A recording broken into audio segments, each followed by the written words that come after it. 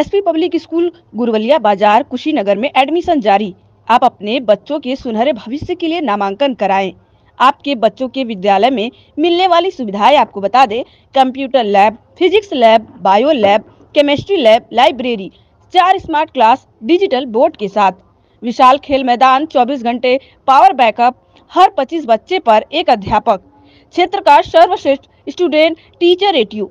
हर PGT विषय के विशेषज्ञ अध्यापक। सीसीटीवी कैमरा से लैस कैंपस, विशाल ऑडिटोरियम हॉल, नई शिक्षा नीति पर आधारित पाठ्यक्रम। बोर्ड परीक्षा में सर्वश्रेष्ठ परिणाम।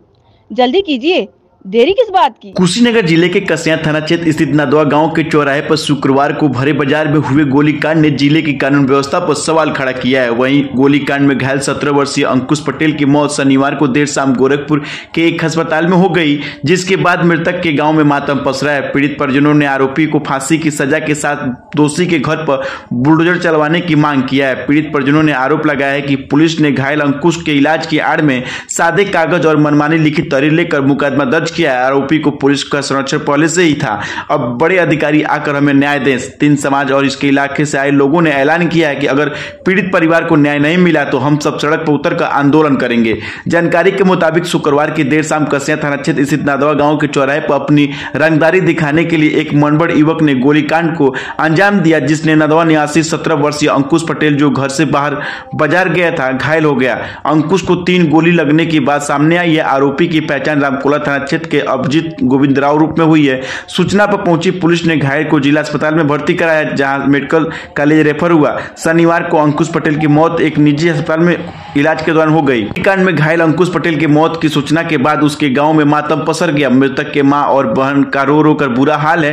पुलिस के जवान, पुलिस के जवान भी गाँव में पहुंचकर परिवार को समझा और उनके न्याय का भरोसा दिला रहे पुलिस पर गंभीर आरोप लगाते हुए मृतक के चाचा नित्यानंद पटेल ने कहा कि हमारा भाई से घायल भतीजे के इलाज का हवाला देकर पुलिस ने झांसे का सहारा ले साइन करा लिया। बाद में हमें पता चला कि पुलिस ने अपने ही मन मुताबिक तहरीर पर एफआईआर दर्ज किया है। मृतक अंकुश के पिता जवाहिर सिंह पटेल ने भी इस आरोप पर मोहर लगा दिया।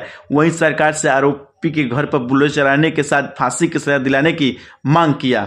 कुर्मी समाज और इलाके से आए लोगों ने ऐलान किया कि अगर पीड़ित परिवार को न्याय नहीं मिला तो हम सब सड़क पर उतरकर आंदोलन करेंगे। डॉक्टर राघवेंद्र पटेल ने कहा है कि पीड़ित परिवारों को उचित मुआवजा, परिवार को जॉब और न्याय दिया जाए। अन्य कुर्मी लोगों ने आरोप लगाया कि अंकुश की हत्या करने वाला आरोपी पर बलात्कार और पूर्व में भी रंगदारी के लिए फायरिंग किया। पुलिस ने उसे संरक्षण दे बाहर खुला छोड़ दिया है, जिसके कारण हमारे एक निर्दोष बेटे को निर्मलता से हत्या हो गई। इसलिए योगी आदित्यनाथ सरकार से गुजारिश है कि जाँच कर दोषियों पर कार्रवाई हो।